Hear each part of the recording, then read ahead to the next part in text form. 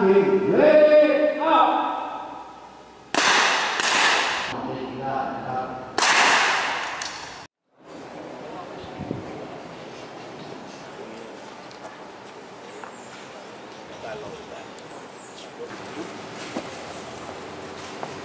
Cũng vào đây,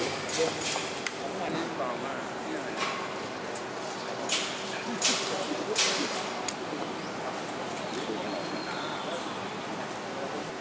แป๊บนึงแป๊บนึง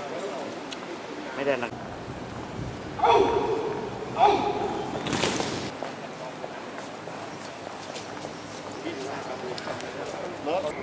ที่ผู้บัญชาระดับกองทัพการเล็งเห็นความสำคัญ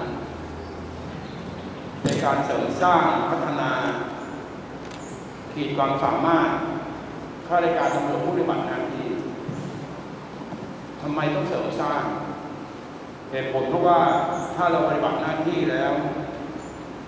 เราไม่พร้อมที่ปฏิบัติหน้าที่เกิดความผิดพลาดขึ้นมานะครับผู้ปฏิบัติก็จะเดือดร้อน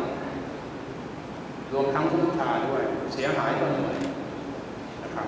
แต่ถ้าพวกท่านมีความรู้ความชำนาญการปฏิบัติหน้าที่ก็จะเป็นไปด้วยความเรียบร้อยนะครับเหตุการณ์ต่างๆ ก็จะคลี่คลายไปด้วยดี ปัจจุบันความเห็นต่าง ทางด้านความคิดเราจะเห็นเยอะแยะมากมายหลากหลาย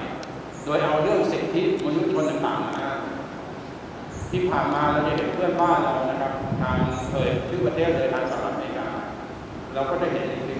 นะครับ Good.